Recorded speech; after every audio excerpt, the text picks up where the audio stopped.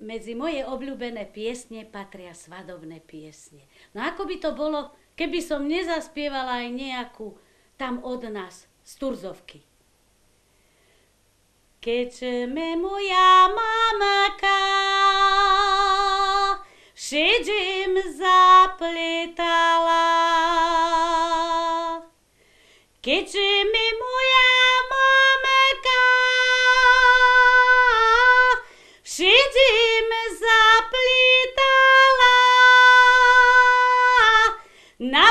mojej slobode rúža rozkvítala. Rozkvítaj, prekvítaj, môj želien venku. Rozkvítaj, prekvítaj, môj želien venku.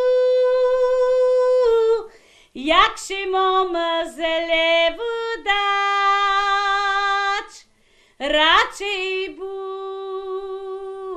budem dziewku. Radšej budem nosiť vlásky rozpletané. Radšej budem nosiť vlásky rozpletané, jako jo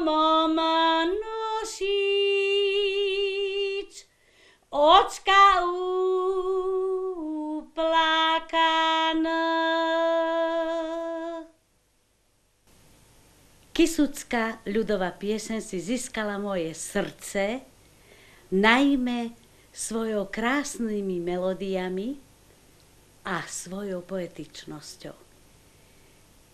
Musím povedať, že tie piesne sú nádherne sugestívne. Podávajú obraz o živote človeka tam, kde si v tých vysokých osadách, v pľacoch, vo vrchoch, ako ľudia žili, čo robili, čím sa zaoberali, čo ich trápilo, ako prežívali lásku, ako prežívali rôzne rodinné obrady, ale aj výročné obrady počas celého roku. Na Kisuciach sa vyskytuje aj veľa baladických piesní. Sú krásne, zaujímavé a niektoré som aj nahrala v Československom rozhlase v tom čase.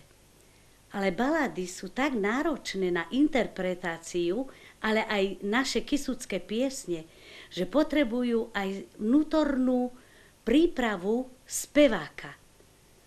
O to viac ich radšej spievam, vyberám si náročné piesne s ťažkým dýchovým frazovaním, ktoré kisucké piesne so sebou nosia tie piesne, ktoré sa spievajú vo voľnej prírode, sú také nádherné. Keď som ich nahrávala, tak som si predstavovala, ako stojím na tom grúni, ako tam spievam, čo tam všetko vidím a o čom spievam. Doslova som si to predstavovala. Najmä pri takých piesniach, ako boli jánske piesne. Alebo piesne pracovné z voľného prostredia.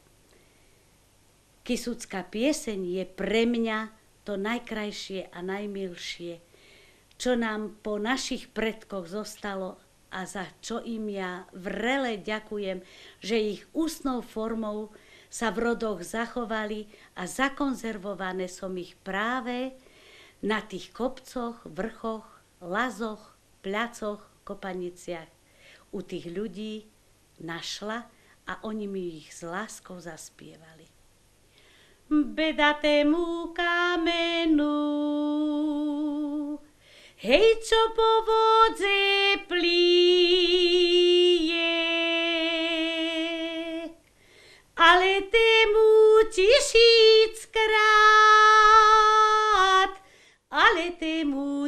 tisíckrát.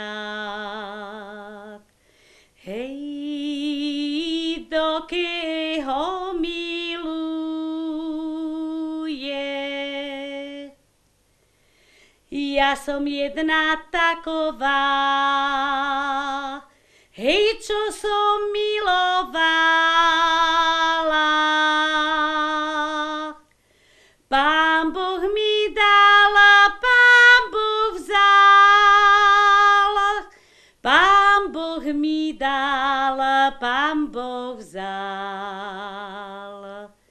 Joj, ostala som sama, ostala som samotná, hej, ako hruška v poli. Keď hruštičky oberú a ski op adenu. Yo